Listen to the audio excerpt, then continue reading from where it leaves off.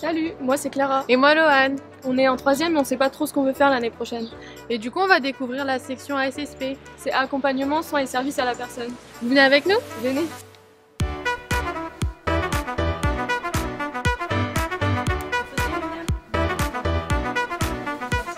Concernant le bac pro SSP pendant trois ans, on va travailler un an auprès de l'enfant, du nourrisson et du jeune enfant. Et les deux années qui vont suivre, ça sera la personne âgée, la personne malade et la personne handicapée. Donc si on a envie de venir en ASSP, il ne faut pas euh, se contenter d'avoir envie de travailler avec les bébés. Les élèves sont amenés à accompagner en fait les personnes fragilisées dans les gestes du quotidien. On apprend aux élèves à aider euh, la personne à faire sa toilette, par exemple sa toilette du visage, le brossage des dents, le rasage, se laver les cheveux. On apprend aux élèves à changer les protections chez l'adulte, à proposer le bassin euh, pour faire les besoins, à habiller, déshabiller euh, les personnes qui sont en perte d'autonomie ou handicapées. Bonjour Monsieur Renard, je vais vous faire votre toilette. On faire votre front, les. La plus grosse difficulté, je pense que c'est d'affronter euh, la souffrance des gens. Ça va être des gens en perte d'autonomie ou fragilisés. Pour euh, travailler dans le sanitaire et social, je pense qu'il faut être à l'écoute, être respectueux, être communicatif. C'est très important. Bonjour. Est-ce que vous pourriez prendre la température de, du petit William? Parce que j'ai l'impression qu'il a de la fièvre. Oui.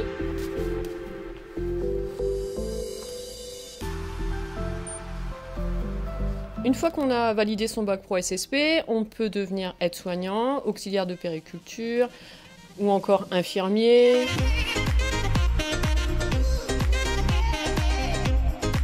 Est-ce que vous pouvez nous présenter votre section et les différents pôles? Dans cette section, les techniques de soins, les techniques d'animation, euh, les élèves font aussi de l'éducation à la santé, donc ils réalisent aussi des projets.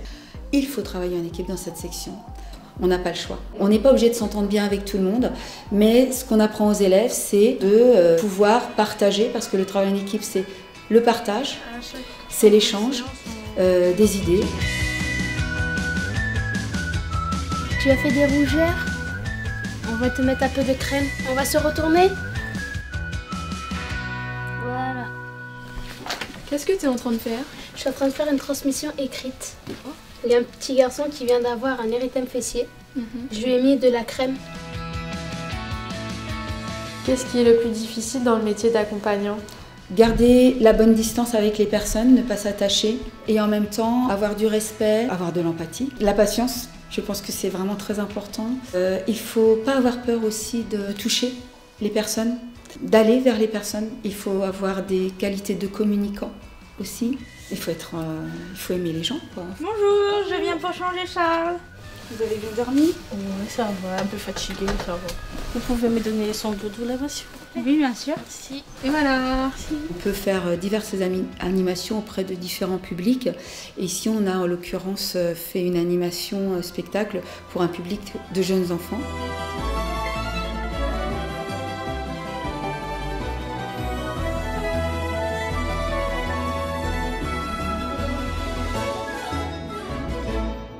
Vous avez fait quoi en fait concrètement dans la préparation bah, Tout le décor. Le décor, les costumes, les scènes, tout, du A à Z, le maquillage, les coiffures. Les enfants, ils étaient juste super, c'était génial.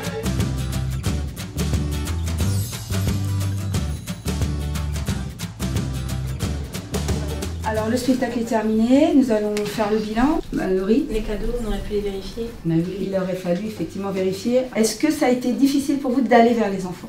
Non, Il n'y a pas que des spectacles, l'animation c'est effectivement euh, dans l'idéal pouvoir accompagner les personnes au quotidien aussi, travailler de manière à ce que ces personnes les rendent le plus autonomes possible. L'idée, c'est d'accompagner et de ne pas faire à la place de la personne. C'est ça qui sera le plus important.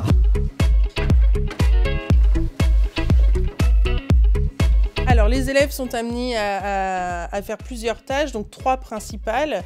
Préparation des collations et des repas, donc envers les usagers euh, qui seront servis euh, dans les structures, donc notamment à table ou euh, au lit.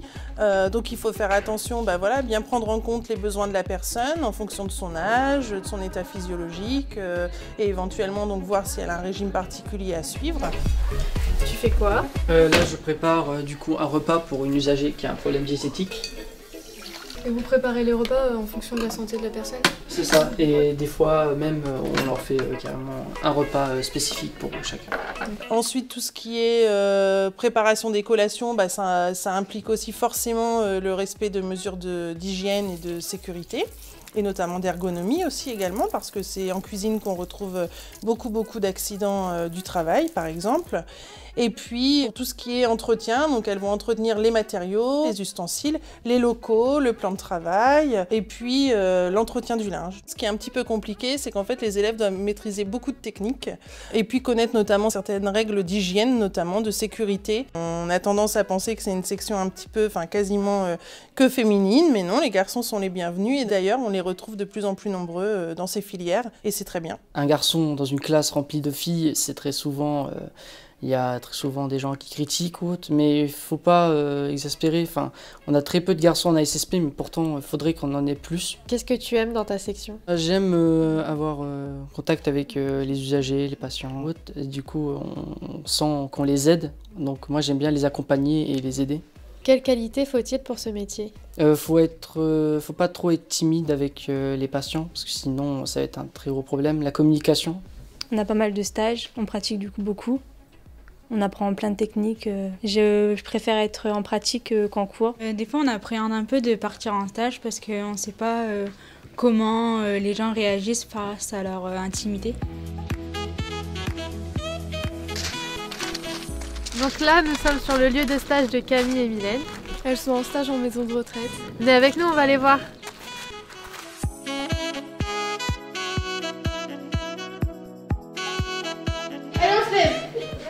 Restez bien droite. hein. Alors on accompagne les résidents à, à la toilette, à venir à table des fois, au goûter, à faire des activités. On les aide au quotidien sans leur enlever leur autonomie. Quelle mission donnez-vous aux stagiaires? Tout ce qui est l'accompagnement euh, de la personne sur une journée, donc ça va de, du réveil, euh, l'aide à la toilette, euh, le service des repas, l'échange, euh, les animations, l'aide au coucher, aider à rompre l'isolement aussi euh, des personnes, ça c'est très important. André, vous voulez boire quoi au goûter? Euh, Qu'est-ce que vous me proposez? Un café, un thé Vous voulez boire quoi, euh, Monique? Un caricard. Avec beaucoup d'eau. Euh, elles ont su prendre leur marque euh, dans la maison de retraite, elles se sont bien intégrées dans l'équipe. Qu'est-ce que tu fais? Je prépare le goûter. Ah, et, et comment tu trouves les résidents? Ça va, ils sont gentils. À part à certains moments, c'est un peu plus compliqué, mais sinon ça va. C'est toujours intéressant lorsqu'on a une stagiaire qui arrive avec un projet d'animation, euh, comme euh, par exemple Mylène qui est arrivée euh, en voulant faire un atelier cuisine. Venez, on va faire la pâte, Geneviève. Découper, les éplucher et après on râpe.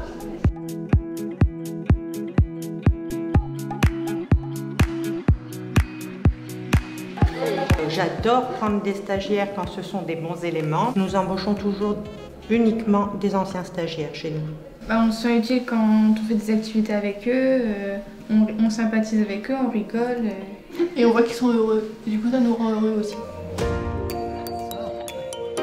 Nous sommes une section très, euh, très demandée, euh, très sollicitée. Peu de place pour le nombre de personnes. Après le bac pro, donc on peut partir en école d'aide-soignante, en école d'auxiliaire de périculture, en école d'infirmière, et on peut aussi se diriger vers un BTS, donc un BTS ESF ou un BTS SP3S, donc qui vont conduire eux plus à des métiers euh, travailleurs sociaux. Et puis après, toujours euh, dans les métiers de l'animation ou du social, donc moniteur éducateur. C'est un métier d'avenir. La population étant vieillissante, euh, forcément on va avoir besoin d'accompagnants et d'aidants dans les années à venir. De plus, c'est un métier qui est tourné vers la santé et le social, et la santé, c'est un enjeu de société au jour d'aujourd'hui. Bon, bah, on a pu voir un peu tout ce qui se passe en ASSP.